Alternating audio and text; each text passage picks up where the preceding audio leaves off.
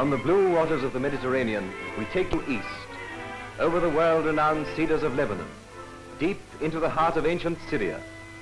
Here between Damascus and Baghdad lie hundreds of miles of barren, burning sand. And here today, as it was 5,000 years ago, the way of trade across the desert is kept open by the feet of men and camels.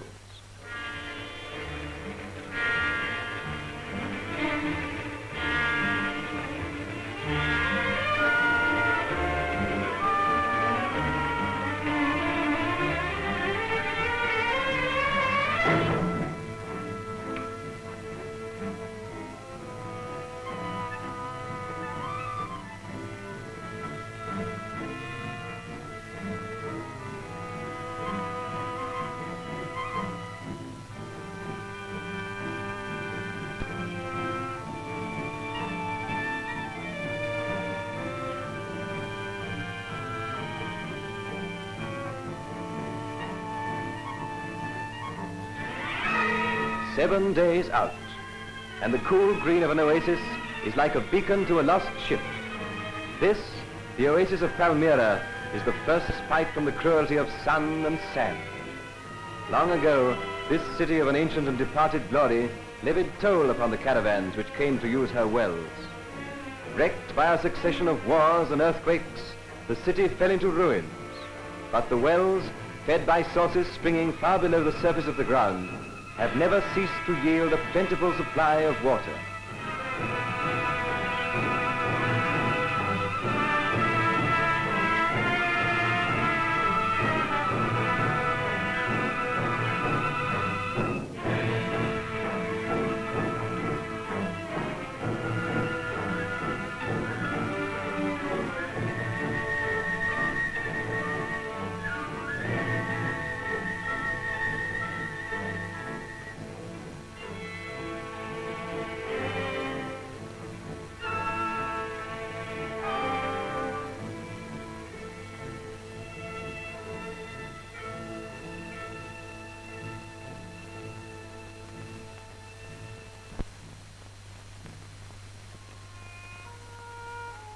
At the first pool, the tired animals are led to drink.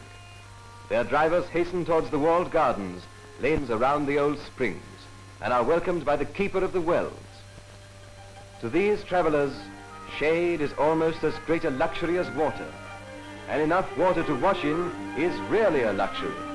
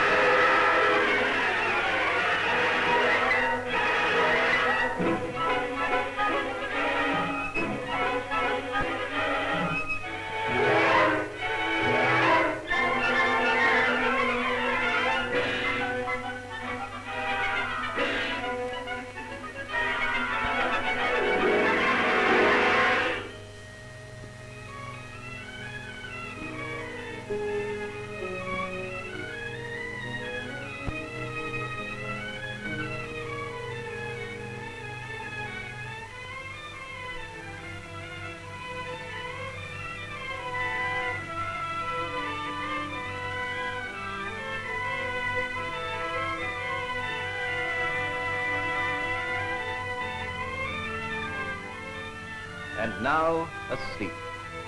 The kind he never gets in the desert. There is no need here to protect your head from the bludgeoning of the sun and your face and eyes from the searching talons of the sand. A man can go to sleep at peace with himself and the world, while above and around him sleep also many sounding pages of the world's past, the memory of things done and suffered when Syria was the cradle of civilization. This tiny spot of green in the middle of the desert, now but a huddle of ruins, once rang with the sounding of great names. King Solomon built the city to commemorate the ground on which David slew Goliath.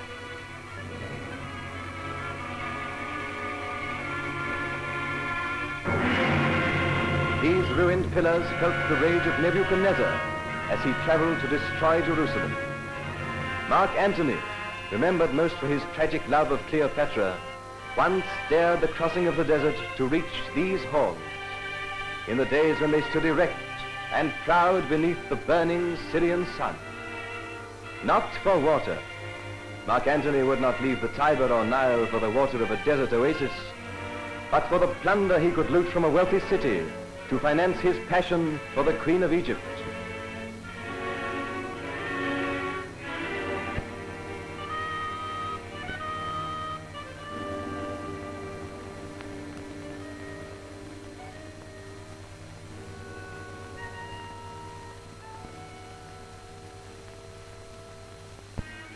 Queen Zenobia was her name, the Elizabeth of ancient Syria, the queen who built this once mighty temple to the great sun god of the ancient Syrians. Unlike Cleopatra, she defied him, and in the great desert battle which ensued, half the city was demolished.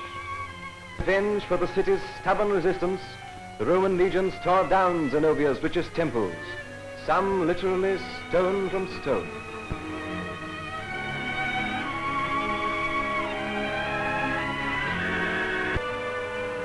When the Romans themselves passed away, there was none left in Syria with the wealth and power of a Solomon to restore Palmyra. The city fell into decay. Earthquake and successive plunderings by Turk and Arab have completed the destruction. The glory which was Solomon's now sleeps.